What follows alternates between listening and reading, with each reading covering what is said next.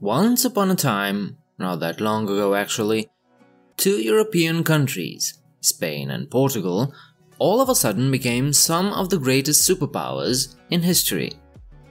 And it was all thanks, or at least in part, thanks to the vast riches they brought back from the Americas. But did you know that both countries started their American venture by mistake? Hi, my name is Sebastian, and you're watching Mistakes That Changed the World.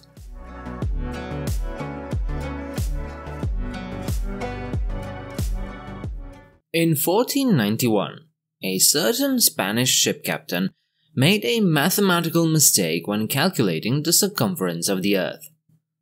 A line drawn around the planet at the equator has a length of approximately 40,000 kilometers. This information had been known and verified through various mathematical calculations since the times of ancient Egypt. However, Christopher Columbus, because that's who we're talking about, was convinced, based on his own calculations, that the circumference of the Earth was less than 25,000 kilometers. This difference of 15,000 kilometers was the reason why he believed that by sailing west from Spain he could reach China. If it being correct, it would have been an easy journey. The error seems to have originated from incorrect latitude and longitude numbers used by Columbus while studying Chinese maps. He may have even used distances as indicated on the maps of Ptolemy, which were also completely wrong. During that time period, the rivalry between Portugal, which used an arduously long route to the east by circumnavigating Africa, and Spain, was intense. We're gonna talk about Portugal in a minute, don't worry. The Spanish monarchs were willing to do almost anything to gain entry into the incredibly profitable trade with Asia.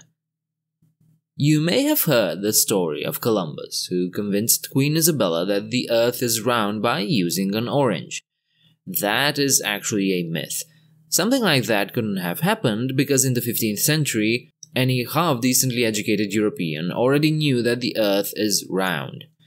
Columbus's mathematical error explains why the advisors of Ferdinand and Isabella unanimously opposed funding his ludicrous expedition. Not because they believed the earth was flat, but because they had verified the navigator's calculations. The scholars at the Spanish court opposed funding the explorer because the math was wrong, plain and simple. Be that as it may, the Spanish monarchs decided to take a chance with Columbus, and in 1492 they provided him with three relatively small vessels in spite of his lack of mathematical skills. I don't know, maybe it was just a cheap way to get rid of him after he had been pestering them for months. Who knows? Regardless, the rest, as they say, is history. Columbus set sail with the Nina, Pinta, and Santa Maria. At the end of his heroic journey, he discovered the New World. Well, actually, he discovered a few islands in the Caribbean. Those details are not that important for this story. What's important is that there was something there, and Columbus showed it to the entire world. Convinced that his own calculations had been confirmed, the captain named the indigenous people Indians and referred to the islands as the Indies. But, despite his discoveries and adventures, in the end, Columbus died, well, not poor, but he wasn't a wealthy man either. He would, however, be astonished to learn how today he is both revered and hated. Turns out he wasn't a very nice guy. He would also be somewhat disappointed to discover just how inaccurate his calculations were. For Spain, though, and Europe as a whole, this mathematical error may have been the luckiest mistake of all time. It brought two centuries of substantial spoils to the Spanish crown and opened up the Western Hemisphere to Europe, not to mention their domination in Asia, Oceania, and Africa. Okay, so that's how Spain found its fortune, but what about Portugal? Well, first, some context. The Portuguese spice route to the east was the secret that brought glory to this otherwise small nation. They'd found a route, albeit a long one, that bypassed the Arab, Turkish, and Italian merchants. They chose to navigate around Africa, sailing south and then up along the eastern coast before crossing the ocean to India. Navigation methods were primitive and food preservation techniques were no more advanced. Any extended period of time spent at sea could make a ship disappear from history and condemn its crew to death by dehydration or starvation. So, most traders in the 15th century tried to stay close to the coasts. Long voyages were risky, yes, but extremely profitable. If only one out of ten ships returned loaded with spices, the profits covered the costs of the lost vessels and ensured investors a 1000% profit.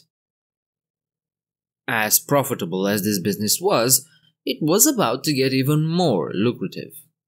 In 1500, a Portuguese merchant named Pedro Alvarez Cabral led his own fleet of 15 ships in an attempt to follow Vasco da Gama's newly opened route to India.